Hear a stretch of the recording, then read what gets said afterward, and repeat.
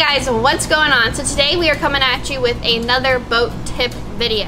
Now in today's video we're going to be adding some upgrades to our boat including a new anchor, anchor chain, anchor line, as well as teaching you how to use an anchor ball to retrieve your anchor which is going to make your life a lot easier. We're going to switch out our old dock lines for some new ones and do a quick overview about how we tie our boat up at the dock as well as show you some things that you need as a boat owner, every boat owner needs these kind of things, as well as a few of my number one safety items that I think you need to have on a boat. Now today's video is sponsored by Sea Choice products. Everything you see here and that we will be talking about today is a product by Sea Choice. They have locations all around the US where you can find their products. I will have a link in the description where you can find a list of dealers near you. Sea Choice offers a full range of quality marine products, making it a one-stop shop for the daily boat user. They carry basically everything you can need for your boat, such as anchors, boat wash, electrical equipment, parts for your trailers, nuts, bolts, lighting equipment, anything you can think of. Boating can be an expensive hobby, and when you need something, it usually isn't cheap. However, with the volume of sales Sea Choice has, they are able to manufacture in large quantities to be a low cost price leader. So the first thing we're going to do today is put our new anchor, chain, and rope into the boat, so let's go do that. Now behind me is my family's 247 Edgewater. We've had the boat now for like six years, and we've learned what works for us for anchoring. We've gone through a couple different kinds of anchors. We've tried a Danforth, we tried one other style, and this is a plow anchor.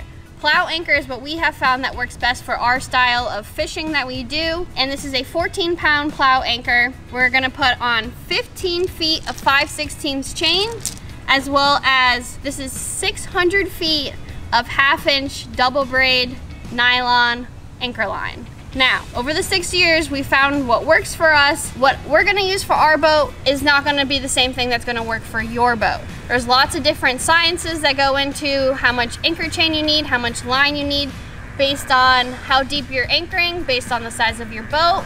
A lot of different factors go into it, so I'm not going to tell you exactly what you need for your boat. So if you're trying to figure out what kind of anchor, chain, and line that you need for your boat, I definitely recommend doing some research. I recommend you trying to figure out what your plans are with using your boat.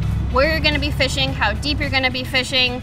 Maybe you're a sandbar person. You're definitely not gonna need 600 feet of anchor line if you're never gonna go out and deep sea fish and anchor in 200 feet of water. Based on the size of your boat you need, you're probably gonna need a smaller or bigger anchor than us. Maybe you need more than 15 feet of chain. Maybe your anchor locker won't hold that much line. Maybe your boat can't have a ton of chain in the front of it because it's too much weight. I mean, even sailboats only use anchor chain. They don't even have any anchor line. So lots of different things that go into this. So this is just what we're using for what we do, our fishing anchoring needs. Okay, I definitely recommend doing research. There's lots of different articles out there about what is best for your boat, your weight boat, what you're doing depth-wise of anchoring, as well as you can even call the company of your boat. Let's say you own a Boston Whaler, you can call it Boston Whaler, and I'm sure they would set you up with the best thing. Enough of that. So, 600 feet of anchor line, you might think that's crazy. Some people might think that's not enough. What we did was we laid out our anchor line in 100 foot increments and then made little marks. So this is the end of the rope. This would be your 600 foot mark. This is 500 feet here. Another 100 feet down. Here's four marks for 400 feet. Another 100 feet down. Here's three marks for 300 feet, 200 feet, 100 feet.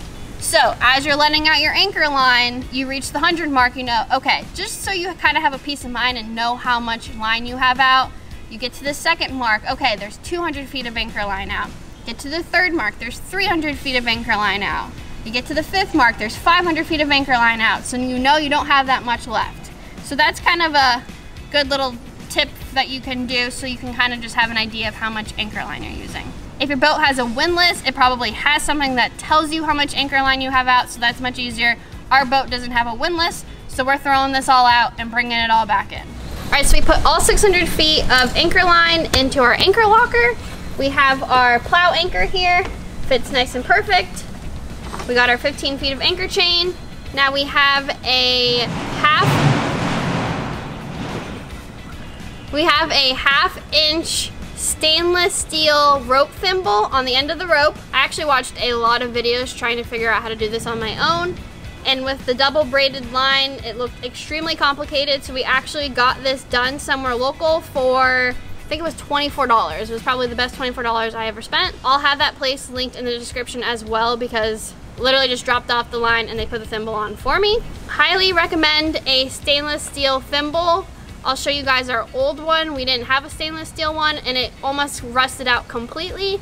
This keeps your line from getting chafed. You could have it without the stainless steel thimble, but it really helps to keep your rope intact and not get chafed.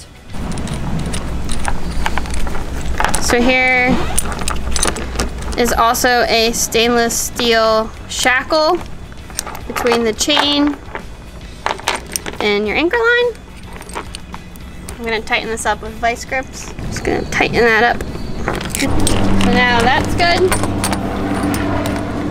Put the rest of this through.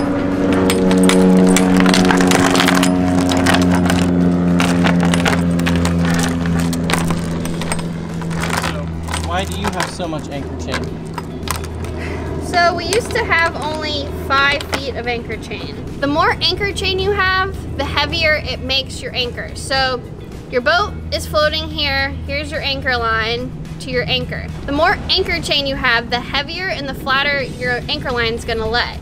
So if you don't have a lot of chain, you're gonna have a more straight line like this and it's gonna be pulling up on your anchor. The more anchor chain you have, it's gonna be laying flatter and pulling more horizontally on your anchor so you're not just like pulling your anchor across the sand. The 15 feet of chain versus six foot of chain, you're going to hold better and your, your anchor is gonna set a lot easier. Again, maybe you need 30 feet of anchor chain, maybe you only need five feet of anchor chain. Maybe you think that 15 feet of chain is not enough for us, but that's what works for us. You probably need something different, I can almost guarantee it. All right, so we're gonna show you how to use the anchor ball at the end of the video. Now we're moving on to dock lines. All right guys, so now it is time to change our old dock lines for nice new ones. This is my dad, Brian. You guys have seen him in a lot of videos before, and he's gonna show you guys how we tie up our boat. So go ahead. Well, Brook got me some nice green lines. If you can't tell, just look at my house and you can tell I love green. Everything here is green. So Brook was getting me new lines. She goes, what color lines you want? I'm like, green. We've had this boat six years, but we've never had new lines. They were just hand-me-down lines. We got two black lines, two red lines. Now we're gonna deck our boat out with new lines. So I'm gonna retie this, and um, I only use half the cleat on this one. On your midship. On the midship.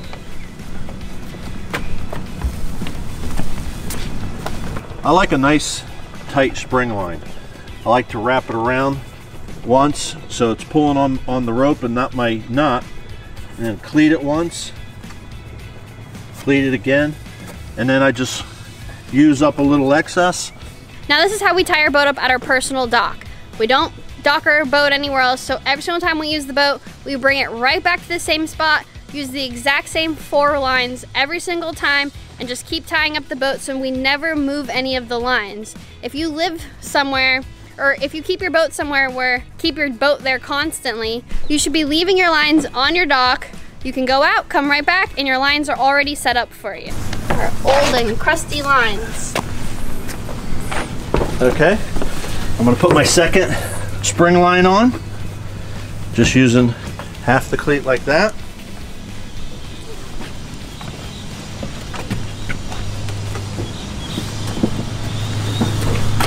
Instead of going directly to a cleat that can pull the cleat out of the concrete,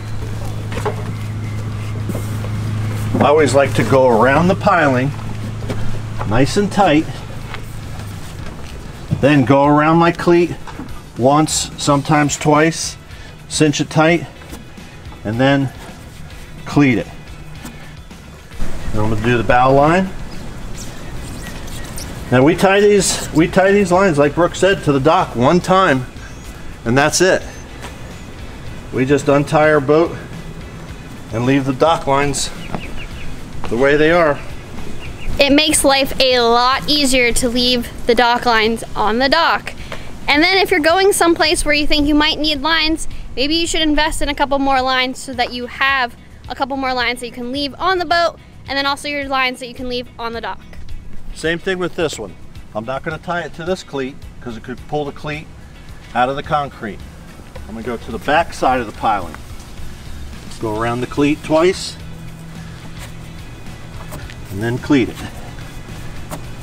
We have a full dedicated YouTube video about how to tie your boat up at the dock. So if you guys are interested in that video, I will have that video linked down in the description if you want a more detailed explanation of how we tie the boat up. Now finally, after six years, I got all matching lines tying up my boat. Look how nice that looks.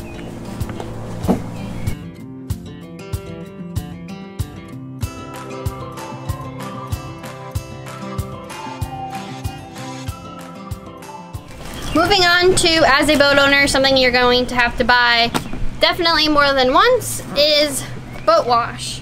Not only boat wash, but you also need brushes. So we like a nice hard deck brush that we use on basically the entire boat, except for on the stainless steel, which we like a wash mitt, something soft to wash the stainless steel with, as well as I wash the entire console, the steering wheel, all the electronics and all that stuff with nice something nice and soft, not a hard bristle brush. So it's good to have one of these as well as a deck brush. I always make Victor do the hard part. I did the easy part of all.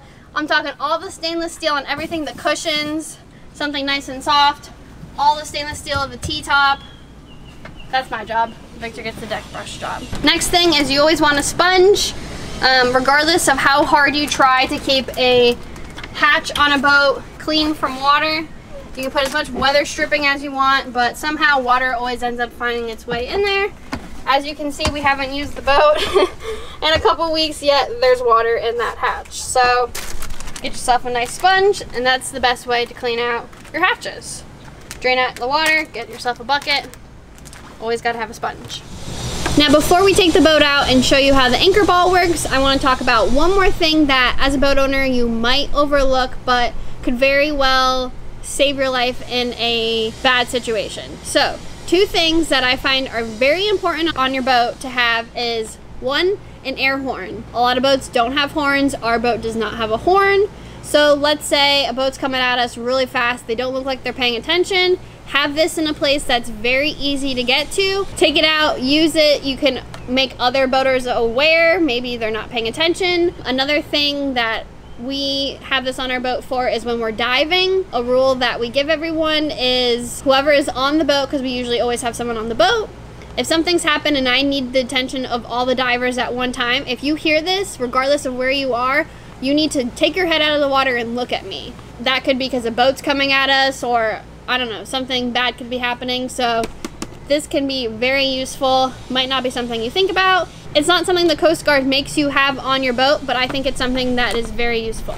Next thing on the list is a first aid kit. It might seem like something like, duh, of course you want a first aid kit on the boat, but I'll be honest, we didn't have a good first aid kit on the boat until right now. That's something that I had wanted on the boat for a really long time. You know, maybe you don't think you have enough space for it. I don't care how much space you have on the boat. You need a good first aid kit on your boat, so definitely invest in a first aid kit. Again, everything you guys have seen in the video has been a Sea Choice product. I will write in the description every item that I've talked about today, as well as a link where you can find a dealer, a location near you that carries Sea Choice products. All right guys, so I wanted to show you the anchor ball use on a nice, calm, flat day put up the drone so you can see it easily, but we got a pretty choppy day out here, but we're still gonna put the drone up for you.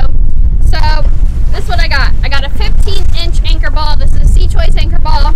I have a little bit of rope to a clip to the anchor ring. Now the point of this, whoa, the point of this is this is going to, this is supposed to get stuck on your anchor.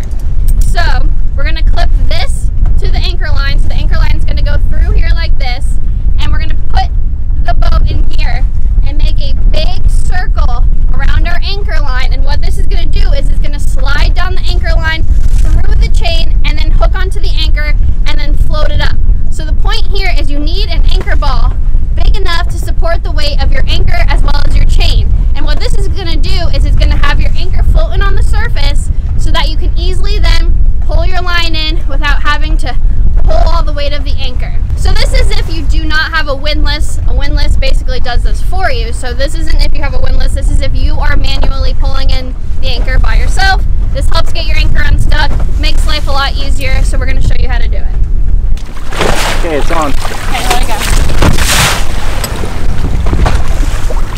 Okay, that was a little hard to see, I know, but it's really rough, so not much else I can do for you. But basically, anytime you anchor, you can already have your anchor ball out there, so when you're ready to go, you just start driving, but this is what we got. The anchor ball's right there. So now, when I drive the boat, I'm going to be making a big circle around the line. If I were to drive just straight out my anchor line, you have the chance of running over it with a prop. So you want to be very mindful of where your anchor line is so you're not running it over. So here we go. We're heading towards the anchor, but a big circle. So here's my anchor, here's all my anchor scope, here's my boat. I'm doing a big circle like this, getting way in front of the anchor ball so that it pulls it up. The anchor ball is going to go down the line to the anchor, float it up, and then we'll be able to pull in the line. One more thing, you need a lot of space to do this. Think about the fact that you're anchoring in however deep, 70 feet of water, you have however much scope out, so you're gonna need that much area to be able to do this. So you're not gonna do this where there's a bunch of boats anchored or you know, close to an inlet where there's a bunch of boats running around. You need a big space so you have enough room to get to do this properly. Scratch the drone. It's too windy and too rough to try to catch it after we fly it. So no drone for you, but Victor's gonna try to show you and film it as we're doing it. So I'm gonna put the boat into gear and make a big circle. Now you also need enough speed so that the anchor ball can actually make it to your anchor.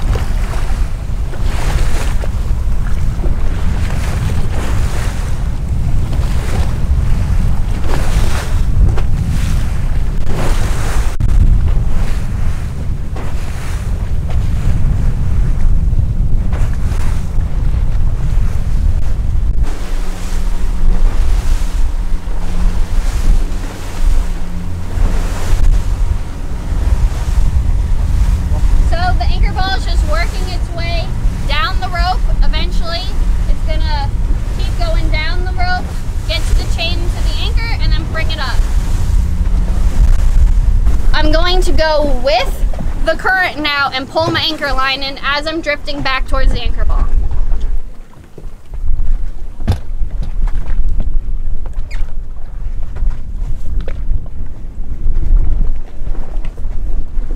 So now there's no weight on this rope because that that ball is holding my anchor.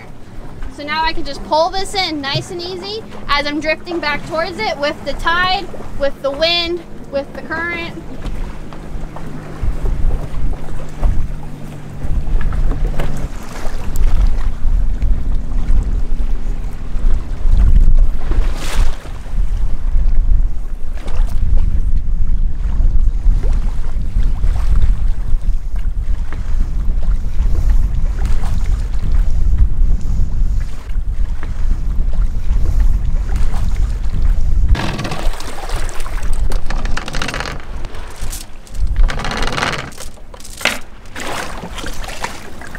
So you can see it. Yeah. Can I pull it up a little more? There you go. Works perfectly. So you see how the ring is stuck on the anchor. That's exactly what's supposed to happen. And you saw, I mean, I pulled the anchor in in less than a minute. And you know how we marked the um, anchor rope? At some point here is the 100 foot mark. So we had probably 150 feet of anchor rope out. Worked perfectly. Worked perfect. Much easier than trying to pull in all that rope and all that chain and all that anchor and try to get it unstuck on your own. Super easy. If you don't like anchoring because you think it's hard, this is something that you should definitely check out doing for your boat. Makes life a lot easier. So let's pull this in and then get the anchor ball off. Okay, got it. Literally as easy as that. I'm usually the one who pulls up the anchor, and I can tell you right now, this is gonna be a game changer. Now time for the fun part of putting all the anchor rope back into the anchor locker. Super, super simple thing to do. Again, do some research on how much rope you should have, how much chain you should have, your size anchor, and your anchor ball needs to be big enough to be able to hold the weight of your chain as well as your anchor. Make sure the ring is wide enough and big enough to go past the anchor towards any part of your anchoring system. Now the anchor ball is a Sea Choice anchor ball, but the ring and the clip are not. We actually had those for years, but the anchor ball is a Sea Choice anchor ball. But any place that probably sells Sea Choice probably has those anchor rings as well because this is a popular item. So wherever you're going to get your anchor ball, look around for the anchor ring. I highly suggest it. It makes life a lot easier if you don't have a windlass on your boat. All right guys, well I hope you enjoyed the video. If you have any questions for me, comment down below. I'll try to answer them. If you have any tips for me on anything that you saw today, you can comment that down below as well. And everything that I used today, I will have in the description of this video as well as the link to the Sea Choice website where you can find a dealer near you. As always, thank you guys so much for watching and I will see you in the next video. Is every plane leaving the airport today? what the heck? Every time.